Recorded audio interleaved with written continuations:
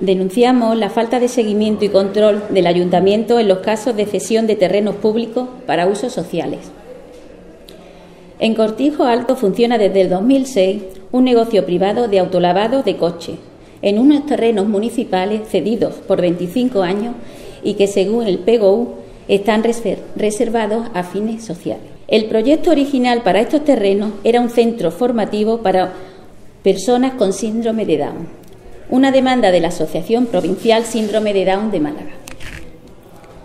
Finalmente, el proyecto se reconvirtió a instancia de la propia asociación en una instalación de autolavado, que mantendría su fin social mediante la contratación de cuatro trabajadores afectados por el síndrome de Down. Pues bien, esto nunca se cumplió. Solo un trabajador con síndrome de Down estuvo empleado durante unos pocos meses.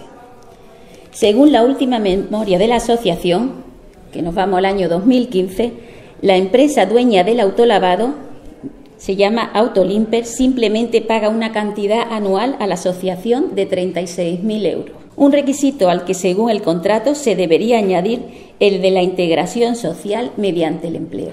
A nuestro grupo nos resulta particularmente grave. ¿Por qué? Demuestra que el ayuntamiento no realiza ningún seguimiento de las cesiones que realiza. Obvia las quejas vecinales que alertan de esta malversación Juega con la sensibilidad a través de una afección como es el síndrome de Down. Se niega a dar explicaciones. El flamante concejal de Derechos Sociales, Raúl Jiménez, se ha negado a aceptar la comparecencia que de la directora del área habíamos pedido en la comisión del próximo lunes para que nos aclarasen este asunto.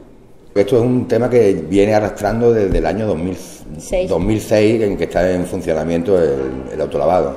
Esto nos llegó a través de una denuncia vecinal porque vecinos de allí de la zona pues nos comentaron de que se había, se había presentado este proyecto en la Junta de Distrito en su momento, puesto que la parcela es una parcela pública de uso escolar y se había cedido a esta asociación, pero evidentemente con, el requisito de que fuera para, un taller ocupacional, que era el, proyecto que la asociación presentó. Allí solamente hay un empleado que no tiene síndrome de Down, es una persona empleada de esta, de esta empresa, nos damos cuenta, un auto lavado de coche no necesita empleados, son las, mismas personas las que, las que se lavan su coche, solamente hay una persona allí que es la que ayuda en algún momento, con lo cual nos parece que desde el principio este proyecto, pues, de alguna forma, no, ha cumplido en ningún momento la labor social que se suponía que, que por lo cual se le cedía un espacio público.